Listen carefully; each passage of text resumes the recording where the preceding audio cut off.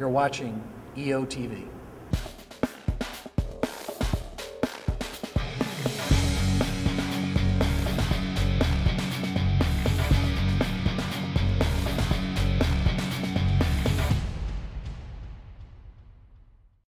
Welcome to EOTV. I'm Andrea Collins. I'm Randall Mauricio. This is your weekly Entrepreneurs Organization webcast. Mm-hmm, and we've got a fantastic show lined up for you this week. Yep, that's right. We'll be hearing from world renowned photographer, author, director, and speaker, DeWitt Jones. Mm-hmm. He's got some tips for us on the connection between vision and reality. And if you want to see him live, we'll tell you.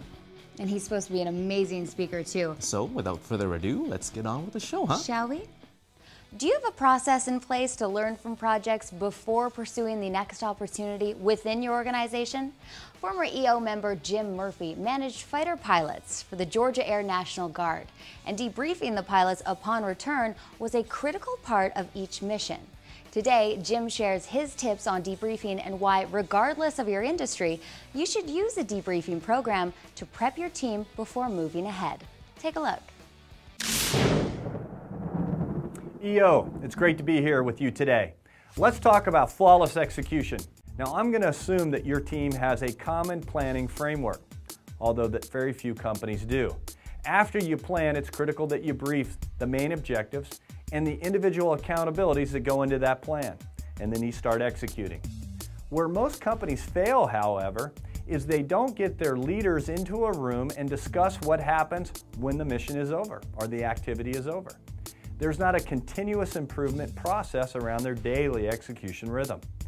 If you want to build a world-class organization, debriefing should be part of your DNA.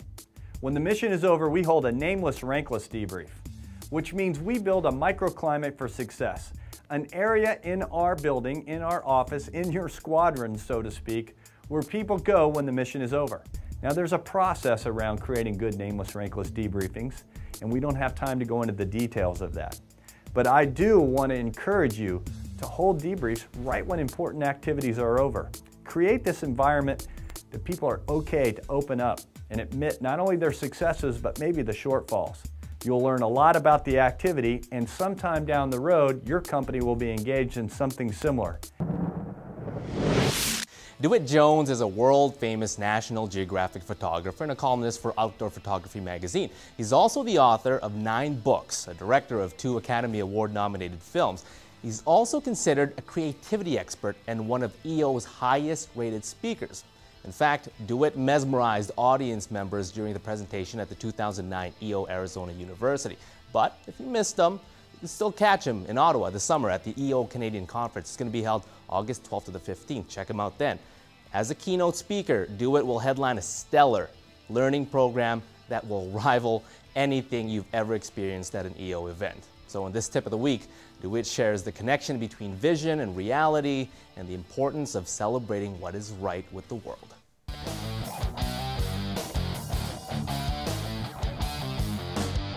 Hi, I'm DeWitt Jones, the National Geographic photographer that talked to you in Arizona with the tip of the week.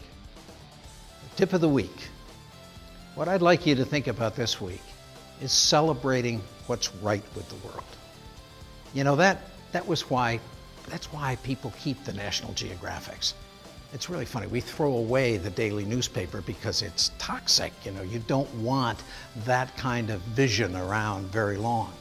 But the people keep the geographics, support their houses with the geographics because they celebrate what's right with the world.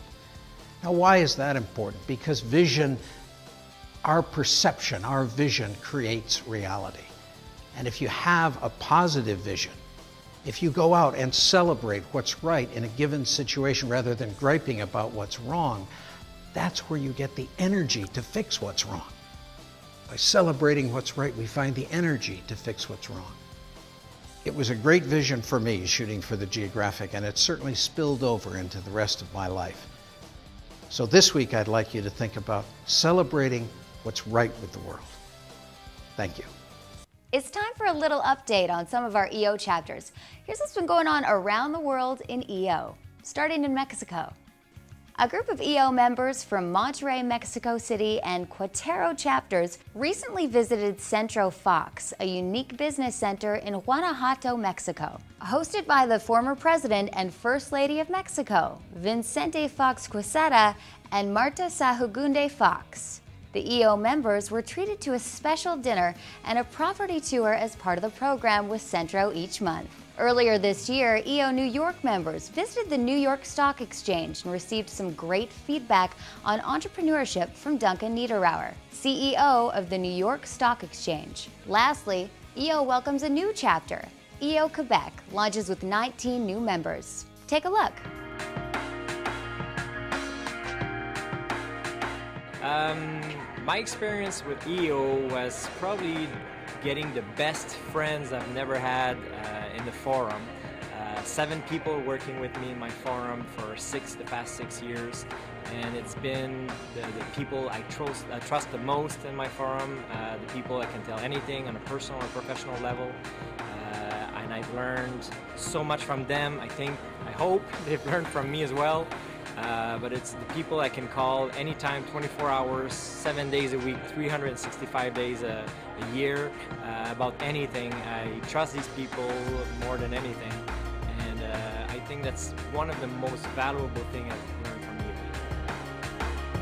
Thank you to all of EO's chapters who shared their recent experiences. If you have a story that you would like to see featured on EO TV, please let us know. You can send all stories to EOTV at eonetwork.org. Well, that's going to wrap it up for us this week. Thanks again to Jim Murphy, DeWitt Jones for Yes. all your expert advice. Yeah, and make sure you tune in next week because we're doing something a little different. We're taking the show on the road. Yeah, you bet. It's going to be a good one. We'll uh, be working out literally while working on a balance between your office life and a healthy lifestyle. Are you going to wear a little muscle tee in your tie? Oh, you better know it. We might even break a sweat. Not me. So, Randall, do you have a parting thought for us this week? No. Come on. just kidding. What? Just kidding. Okay, okay. Uh, to acquire knowledge, one must study, but to acquire wisdom, one must observe. All right, let's see if you're that good on the in the gym. Oh, you'll see. Oh, I will. You'll be observing Oh, okay, and so will you guys. We'll see you next week. All right.